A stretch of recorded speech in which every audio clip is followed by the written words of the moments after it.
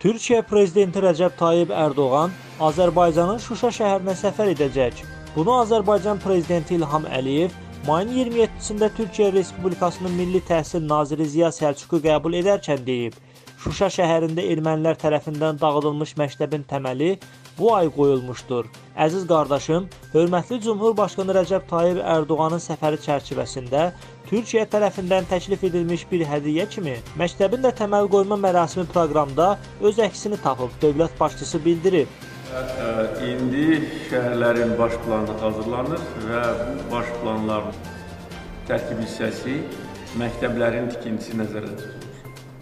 Və Şuşa şəhərində ermənilər tərəfindən dağıdılmış məktəbin təməli ə, bu ay qoyulmuşdur və əziz qardaşım, hörmətli ə, Cumhurbaşqanı Rəcəb Tayyib Ərdoğanın səfəri çərçivəsində ə, Türkiyə tərəfindən təklif edilmiş bir hədiyyə kimi məktəbin də təməl qoyma mərasimi proqramda öz əksini tapıbdır.